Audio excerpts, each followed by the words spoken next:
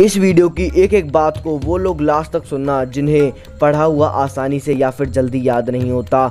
सभी लोगों की याद करने की शक्ति एक जैसी होती है, यानी कि सभी के पास दिमाग एक जैसा है, लेकिन दिमाग को इस्तेमाल करने के तौर तरीके सभी के अलग अलग हैं। यूट्यूब पर अभी हज़ारों वीडियो हैं, जिनमें बताया गया कि दिमाग को तेज़ कैसे करें, कंप्यूटर जितना माइंड कैसे करें, दिमाग तेज़ करने के लिए क्या खाएँ, क्या करें, क्या ना करें, और आपने भाई वो वीडियो देखी भी होंगी। अब मुझे ये बताओ कि आप इस वीडियो को क्यों देख रहे हो? इसका साफ़ सीधा मतलब ये है कि आपको उन वीडियो को देखने से अच्छा रिज़ल्ट नहीं मिला। देखो भाई, इस वीडियो को देखने से भी आपको अच्छा रिज़ल्ट नहीं मिलेगा। अगर आप इन बताए गए नियमों को अच्छे से फॉलो नहीं करोगे तो इस वीडियो में मैं आपको नियम बताऊँगा जिससे आपकी लर्निंग पावर बढ़ेगी। और मुझे ये पता है कि इनमें से दो नियम आप फॉलो करते आ रहे हो। उनमें बस आपको चेंज लाना है, यानी कि बदलाव लाना है, और आपको पढ़ा हुआ आसानी से याद हो जाएगा।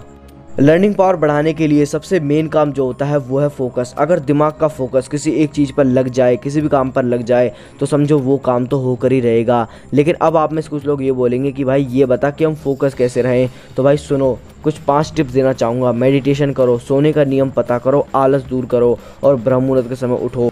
इन चार टिप्स से आप अपना कंसंट्रेशन लेवल यानी कि एकाग्रता शक्ति बढ़ा सकते हो, ठीक है? और अगर आपको ये चेक करना है कि अभी आपकी एकाग्रता शक्ति कंसंट्रेशन लेवल कितना है तो भाई आलती पालती मार कर किसी खाली जगह पर जाकर बैठ जाओ ब्रह्म मुहूर्त के समय सुबह सुबह ठीक है? इस समय आराम से बैठकर किसी भी एक चीज़ पर ध्यान लगाओ। आप जितनी देर ध्यान लगा सकते हो, समझ लो उतना ही आपका कंसंट्रेशन लेवल है, ठीक है? दो तीन मिनट बस, उससे ज़्यादा तो कोई कोई जा पाता है, ठीक है भाई?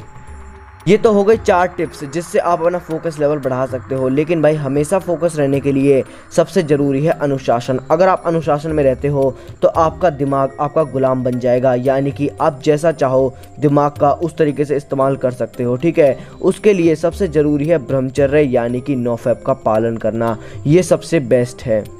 ये तो हो गई कॉमन बात है जिससे आपका दिमाग बढ़ सकता है, दिमाग के अंदर अच्छी पावर आ सकती है, जो सभी यूट्यूबर्स बताते हैं, सभी यूट्यूब की वीडियो का निचोड़ है, ये वाला पार्ट जो आपने अभी देखा। अब बात कर लेते हैं उन तीन टिप्स के बारे में। जिन्हें फॉलो करने से आपको एक बार में पढ़कर ही सब कुछ याद हो जाएगा। तो भाई, सबसे पहला पॉइंट है इंटरेस्ट अब आप जब भी कोई मूवी देखने जाते हो तो भाई, सबसे पहली बात तो आप पूरे इंटरेस्ट के साथ देखने जाते हो और फिर आपका दिमाग एक बार में उस पूरी मूवी को पढ़ लेता है, देख लेता है, समझ लेता है और भाई, इतना ज़्यादा अच्छे तरीके से वो समझ लेता है उस मूवी को क्योंकि आपने वो मूवी इंटरेस्ट के साथ देखी है इसलिए कि आपसे अगर दो हफ़्ते बाद भी उस मूवी की स्टोरी के बारे में पूछा जाए तो आप बेझिझक बता दोगे किसी भी मूवी की स्टोरी अगर आपने वो इंटरेस्ट के साथ देखी है तो भाई यही चीज़ आपको बिल्कुल अपनी स्टडी के साथ फॉलो करनी है। आप कुछ भी पढ़ रहे हो, कुछ भी समझ रहे हो, कुछ भी देख रहे हो, बस पूरे इंटरेस्ट के साथ पढ़ो, ठीक है? इससे आपको hundred and one percent result मिलेगा। अब आप में से कुछ लोगों की ये प्रॉब्लम निकल कर आएगी कि भाई हम पढ़ने तो बैठते हैं, पूरे फोकस साथ कि हम पढ़ेंगे, लेकिन कुछ समय बाद ध्यान भटक जाता है और हम अच्छे से नहीं पढ़ पाते और हमें कुछ भी चीज़ अच्छे से याद नहीं होती। तो भाई इसके लिए जो मैंने भी आपको डेढ़ दो मिनट पहले बातें बताई थी फोकस रहने के लिए उनको जाकर एक बार और देखो और उनको अच्छे से समझो, जिससे आप पूरे फोकस रहने लगोगे और आपका इंटरेस्ट पढ़ाई की ओर जगने लगेगा। अब आप इंटरेस्ट के साथ कैसे पढ़ सकते हो? भाई, सबसे पहला अच्छे वातावरण में पढ़ो, शांत जगह पर पढ़ो, ठीक है? दूसरा, पढ़ाई में मज़ा ढूंढो। ये नहीं कि आप पढ़ाई को प्रेशर के साथ पढ़ रहे हो प्रेशर से पढ़ रहे हो, किसी का दबाव है आपके ऊपर, ऐसा नहीं आप अपने मन से पढ़ो, दिल से लगन से पढ़ो, ठीक है? और भाई, किसी भी टॉपिक का, कोई टॉपिक अगर आपको समझ में ना आए तो उसकी स्टोरी बना लो, यानी कि उसको किसी न किसी से रिलेट करके देखो। अगर आप ऐसा करते हो तो आपको कोई भी चीज़ जल्दी याद हो जाएगी, चाहे आप इसे पढ़ाई के साथ ले लो, या फिर कोई अच्छी चीज़ सीखने के बहाने से ले लो। बस आपको उसको किसी ना किसी से रिलेट करना है और आपको वो अच्छे समझ में आ जाएगा। अगला पॉइंट है टेंशन फ्री देखो, कभी भी एग्ज़ाम के लिए मत पढ़ो प्रेशर से मत पढ़ो, डंडे से मत पढ़ो। जो भी पढ़ना है, सीखने के लिए पढ़ो। आपने कभी ना कभी ये महसूस किया होगा कि अगर आप कोई भी काम हड़बड़ी में या फिर जल्दीबाजी में करते हो या फिर डर के करते हो तो आपको उस काम से वो संतुष्टि नहीं मिल पाती जो आपको फ्री रहने से मिलती है फ्रीडम से मिलती है।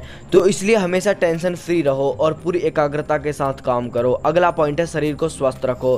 देखो, अगर शरीर स्वस्थ रहेगा तो दिमाग दो गुना ज़्यादा स्वस्थ रहेगा। जाएगा तो इसलिए अपने शरीर को फिट रखो। अगर आपके शरीर पर वज़न ज़्यादा है, वज़न कम है, या फिर ताकत नहीं है, कोई भी चीज़ क्वेरी हो फिटनेस रिलेटेड इस चैनल को सब्सक्राइब कर लो। और सबसे पहले बता रहा हूँ, कोई भी स्टूडेंट इस चैनल को सब्सक्राइब नहीं करेगा अगर आपको उसको फिटनेस रिलेटेड कोई काम नहीं है। तो हाँ अगर फिटनेस रिलेटेड काम है तो चैनल को सब्सक्राइब करके जा सकते हो। ऐसी और सारी वीडियो बहुत सारी वीडियो आप तक मिलती रहेंगी। तो जब तक के लिए जय हिंद, जय भारत।